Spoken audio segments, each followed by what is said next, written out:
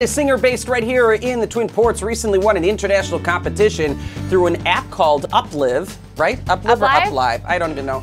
Um, which is a broadcasting streaming app. All right, Fox 21's Jane Kim has more on how this Philippines native is taking the music world by storm. It isn't only Etta James who's saying at last. After a long journey, Duluth resident Zandra Tan, who is also known by her stage name Zandy Storm, has finally, at last, won the first annual Singing for the World competition through the broadcasting streaming app UpLive. to the number one winner, uh, Zandy Storm, who I, I'm privileged to be speaking with you and, and letting you know how proud I am of you.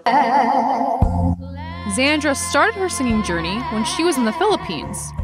She spent time singing and dancing, and Zandra ended up participating in competitions like Philippine Idol, Pinoy Pop Superstar, and Pinoy Idol. This time around, I'm gonna give myself a chance, and this is the chance. And this chance is actually so big that it's hard to explain. Like, it's overwhelming. Like, wow. Zandra decided to participate in the Uplive competition with the support of her family and friends. She sang every day for a month to get the attention of the competition judges. Users on UpLive give virtual gifts to singers, which can turn into money for the participants. The event itself brought over 4,000 other competitors who broadcasted their singing skills. Paula Abdul announced Zandra's win on the show, and Zandra says she's going to keep working hard to get to bigger and better places. This is my dream. That's what I told Paula. I said, This is my dream. No one can stop me from this. I will keep pushing it. I will get that. And it worked out for me, and this is my dream.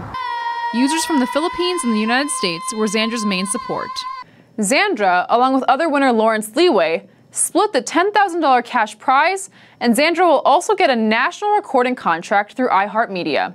In the studio, Jane Kim, Fox 21 Local News.